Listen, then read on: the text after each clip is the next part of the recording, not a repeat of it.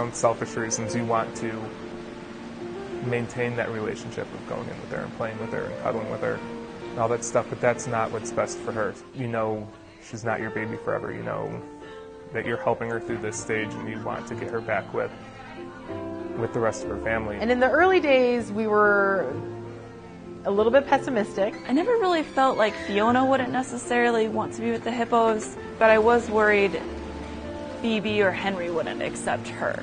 Especially for hippos, they, they say their imprinting period is roughly 10 to 12 days after birth. So those first 10 to 12 days, that's when mother and baby are isolated away from the group and they form that really important bond. They learn each other's smell.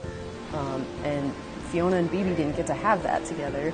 So even still to this day, I, we don't know whether Bibi recognizes that Fiona is her baby so much. We, we know she realizes that it's a baby and she has to interact with it a certain way and take care of it and look out for it. Um, we can't say, but yeah, there was concern that like we aren't hippos, and no matter how much we try, we can't compare. We can't be any version of that to her. Um, but then once we had Fiona on the same level with Bibi and just the mesh between them, um, Bibi was very interested in her and would spend a lot of time trying to lay as close to her as possible. The intros went so well. Just letting them have the howdy set up where they could put their noses together and seeing how they reacted um, towards each other made me have some sort of calm confidence uh, that it would would be okay. And then that just kept getting better and better as we removed more of the barriers and let them interact with each other and touch nose to nose. When we saw that Bibi and Fiona were doing well together, we were like, all right, let's keep that going as much as we can. We felt confident that we could open the door between the two of them and know that Bibi would not intentionally try to hurt Fiona. So we were responsible. We made sure that everything we could tell from Bibi was all positive. The scariest one by far was introducing Fiona and Bibi. That was the scariest day of my life.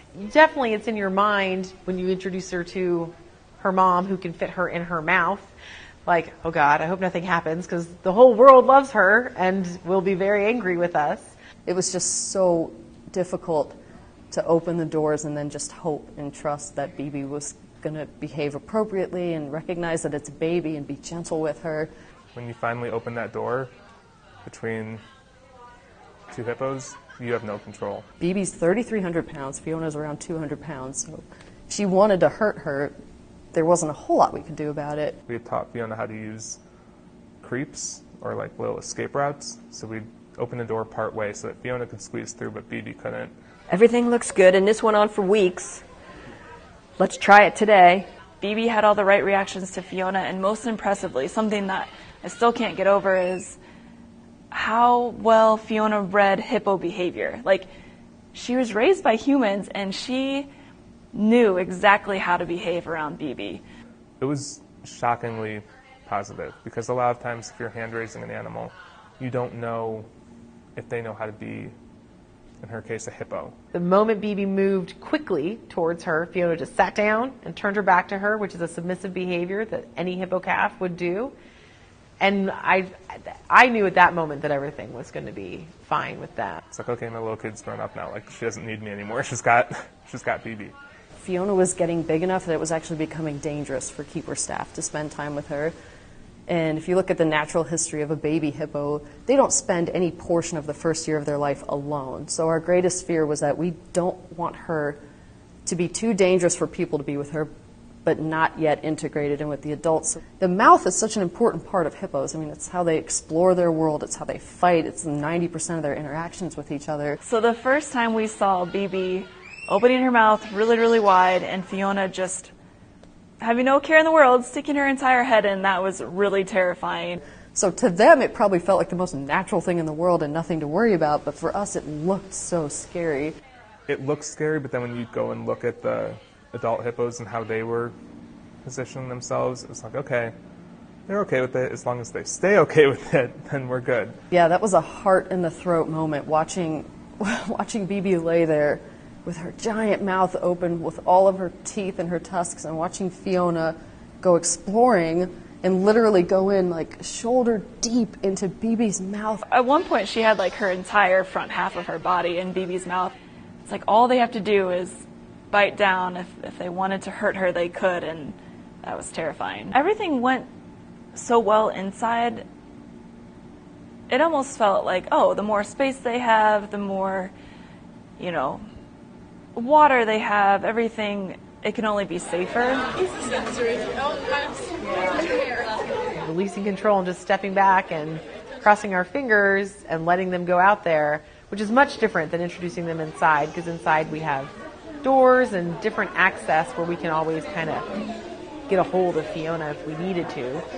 What if something does happen and we cannot get to Fiona because Bibi is dangerous? We can't go share the same space with Bibi. Once she's out in the yard, she's out in the yard. We can't get her, we can't go out there. Um, and we can't control if her or Bibi comes in or what they do. Bibi went out first and was in the deep end of the pool, and then Fiona came out. And Fiona has been out in the um, in the outdoor pool plenty of times. She knew how to navigate the whole thing. She went blazing in like she always did. And she, up until that point, she'd only ever been in there with humans. And then she got to the deep end, and there's 3,300 pound Bibi sitting at the bottom, and she was just like, oh no! And she spun around, and I've never seen her move faster. I mean, she got out of that pool as quick as she could, ran back to the safe place. And Bibi kind of like chases after her. It felt like Bibi understood that like that interaction went poorly, and then Bibi would lay in the shallow water and like try to coax and encourage Fiona to come in. We were very confident in everything we'd seen between the two of them that they were going to do just fine. It's like she was again like trying to encourage her, like, no, no, no, this is we're hippos. We go in the pool, and you can come in here with me. It's all good. We realized what the problem was was that Bibi didn't know Fiona knew how to navigate deep water. We don't know, we don't know that it was like a motherly instinct, but just hey, this is a baby hippo. She can't handle this deep water. She kept trying to keep her in the shallow ends. I know she came from St. Louis where she was with just three other females, but where she was previously to that, um, you know, she was in a whole bloat with an adult male and calves, so she's been around a lot of different hippos. Once Bibi saw that Fiona could navigate the water on her own, um, she backed off too. It was like a proud moment when she started to live with Bibi. Seeing her so comfortable and happy, spending time with her mom and doing hippo stuff is kind of the reward for us. And then with Henry, we tried to repeat the process, the same process, like let them have nose to nose howdy and contact. All right, let them go in together. And for Bibi and Fiona, it was instant and happened so easily. But for Henry and Fiona, it was very different. Henry, oddly enough, was just not a fan of hers. He was probably the only creature in the world that didn't like her. You add a male hippo into the picture, and that's a whole different ball game. Um, and that he wasn't thrilled, you know, made us take pause. That's it's a little scary. But we knew that Henry knew what to do. Henry has had calves before and he was fine around them. So we knew he could be good with her. So we kind of took a blind leap of faith, our last big blind leap of faith, and decided that what was making him unhappy was the smaller area inside, being in really close quarters with Fiona. Um, and so we just decided to put the whole family outside and believe in Bibi being Bibi and taking care of Fiona and putting Henry in his place, which she does readily before and after Fiona's existence. Um, and we just let the whole family out together. Like I think if we put them out on exhibit, they have enough space, and if all three of them are together, Bibi will kind of run the show. because we saw how bonded Bibi and Fiona became.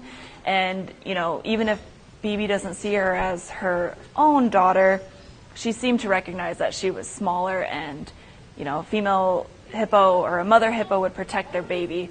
And, I mean, we saw that immediately. So we got out there, and Bibi made it really apparent like, all right, I'm going to be the referee and the coach. I'm going to make sure that everyone's playing by the rules, and I'm going to help each of you and demonstrate for you. It couldn't have really necessarily gone any better. And it took Henry, I think, two or three days before he finally kind of relaxed and let his guard down. Um, and he even spent one day, 10 minutes with his mouth wide open, letting Fiona investigate. Um, that was the, one of the best days because I was like, okay, they're not only are they okay together, they seem like they could be happy together. Henry has got to be the world's best dad. It's like you got your kid over there chewing on your lip, pulling everything, and he's just sitting there, and I'm like, sure, she's got teeth. That hurts. and he just puts up with it. And then they, you know, were just exactly what you would expect a natural little hippo family after that. First time they took a nap was was fun. That that was a big day. That was an exciting day. The first time seeing all three of them calm and comfortable together on exhibit, just acting just like a normal bloat would. Um, they're nocturnal animals, so they spend a good portion of the daytime sleeping. That was a big thing because they're finally. That's like a unity. There, that's a big family thing. So getting to a place where they kind of had all finally learned the rules and gotten comfortable with each other and comfortable enough to let their guard down and close their eyes and relax together, that was a big, big day. That was really exciting because it was like, oh, I just breathe a sigh of relief. Like, yay, they're acting just like a normal little family of hippos would now. That's exactly what we wanted. And hopefully, some of the little things that we did, like keeping her in the hippo building so that she was constantly hearing the adults. She couldn't necessarily see them at first, but hearing them as she was, I mean, from the day she was born. Um, hopefully, some of those little things kept it in her mind that those weren't big, scary things. I mean, I think that's the most impressive thing, is that, you know, she, for however many months, was not near other hippos, could hear them, but couldn't see them.